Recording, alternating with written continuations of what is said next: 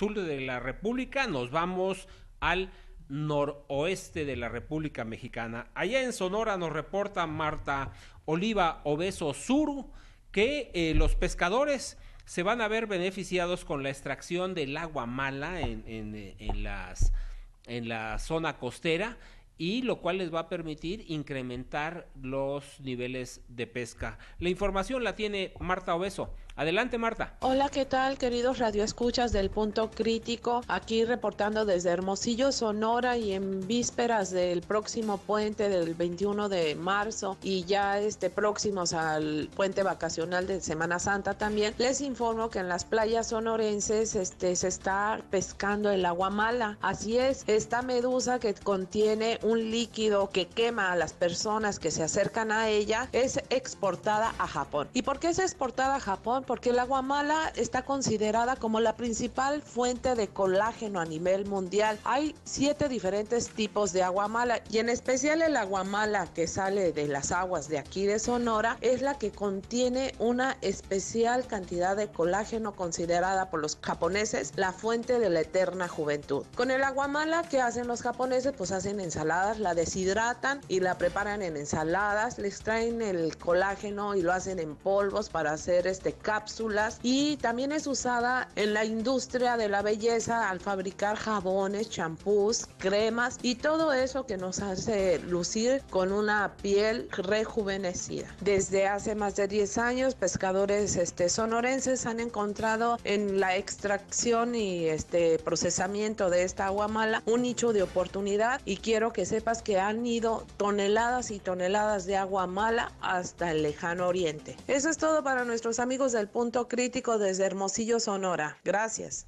Miren, dicen que de las cosas malas siempre salen buenas.